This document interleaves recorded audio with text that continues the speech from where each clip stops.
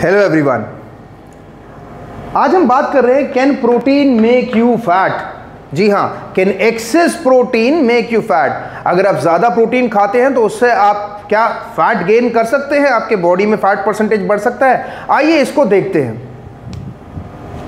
2014 में International Society of Sports Nutrition ने अपने एक रिसर्च पेपर के थ्रू ये समझाने की कोशिश की कि अगर आप ज़्यादा प्रोटीन खाते हैं तो उससे आपको ज़्यादा कैलोरीज मिलेंगी।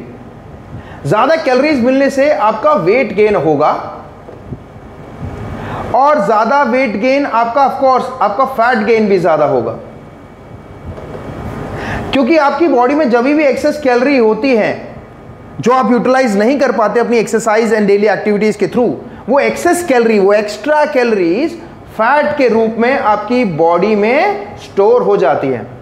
तो दिस इज़ हाउ कि अगर आप ज़्यादा प्रोटीन खाते हैं तो आपको ज़्यादा फैट स्टोर आपकी बॉडी में हो सकता है। इसके अलावा एक और बात है, जब आप ज़्यादा प्रोटीन खाते हैं एक्सेस प्रोटीन जो आपकी डेली रिक्वायरमेंट से ज़्यादा है, उसकी वजह से आपकी बॉडी में ज़्यादा इंसुलिन स्पाइक होता है।